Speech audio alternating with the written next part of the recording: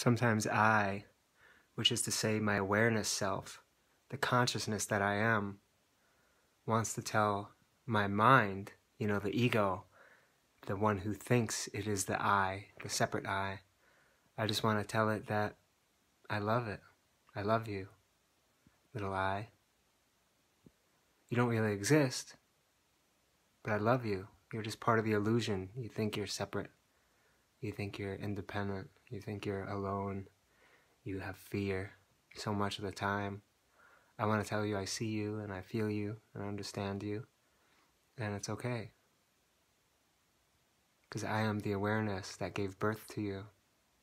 I am the awareness that unites all life, the consciousness that is, the existence that is now and eternal and infinite and vastly mysterious to the human brain.